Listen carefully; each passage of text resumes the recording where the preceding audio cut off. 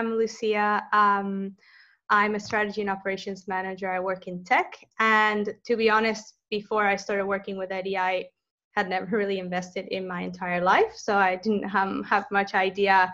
There's something in the back of my head that I always wanted to to get into, but I always kept postponing. And yeah, I thought it was, I started in 2019. I thought it was the time to kind of sink my teeth into it and just understand how can I build some passive income and, and make kind of better use of my money.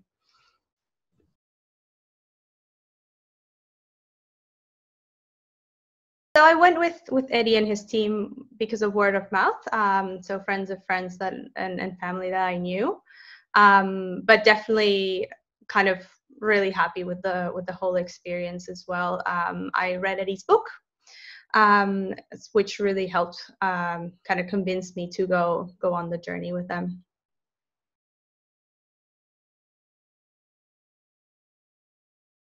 It's been great, really. Uh, so as I said, I had zero experience. I'm not from Australia, so I don't even know, didn't really know anything about the property market in Australia as well.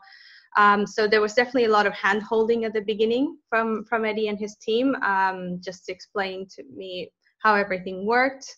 Um, so they were very kind of helpful with the first property and then the other properties. Um, it's just been really seamless. So I don't have much time. I work full time and, and kind of whenever I say, hey, yes, I want to go for this property, I don't have to really worry about anything except having the money in the bank and signing the right documents that they send me.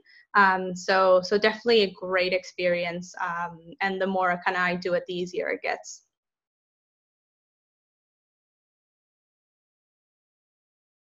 They have helped me not only start building a property portfolio, but um, keep building it. Um, so Eddie and his team, whenever I'm kind of ready to to buy my next property, I just let them know, and they start sharing different um, opportunities with me. You kind of have to be quite quick to act on them, um, but they've they're definitely kind of my partner in building my property portfolio. I've uh, worked with Justin to set some property goals for the next 10 years of my life and then i just kind of work with eddie whenever i'm ready to add on to those those property um, to those property that property portfolio. So we set a one property a year goal which i've beat because i'm i'm doubling that now. So it's um, at least i set that goal as at least trying to get one property under my belt um, a year until the age I'm 40, uh, 40 so that was going to be about 10, 10 properties. Um, I think it sounds crazy when you say that to, to anyone who's not familiar with Eddie's technique and, and kind of the whole property um, portfolio um, uh, like work that he does. But the truth is, these properties are really um, quite affordable uh, in good growth areas. They're uh, neutrally geared, so it does become easier. It's not like I have to be a um, Jeff Bezos to do this. It's it's quite um, kind of doable for for um, a normal salary.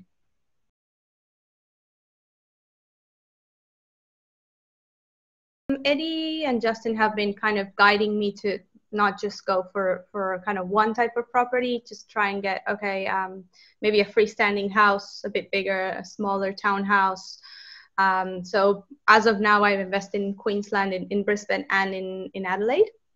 So both kind of to diversify a little bit. And um, my first property that I bought in 2019 um, went up about 100k in in two years which i know it's been a crazy market. So um don't know how kind of i don't think i expect that growth but it has definitely performed well.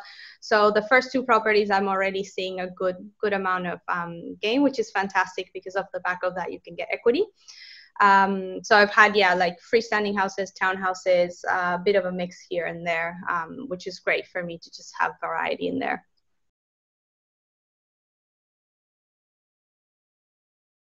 So with property, I think it's kind of the one I I know I'm going to keep going. Um, I'm going to try and see if if I can purchase a, a house to live in. So that's going to be a bit different to to the um, property portfolio strategy, but definitely doable. And then I think I'm just going to keep going um, with Eddie and his team. Again, as I said, it's just I, I get good quality um, houses uh, through Eddie because he definitely negotiates good prices, something I couldn't do. Um, it'd be too hard for me to do. Uh, I know they're good quality. I know they go up, um, and it's just so easy for me to do it. Um, so it takes very little time. Um, so I definitely think I'll just kind of keep going um, little by little to kind of try and build that big portfolio, and then just have some um, just passive income to not have to worry about um, in the future.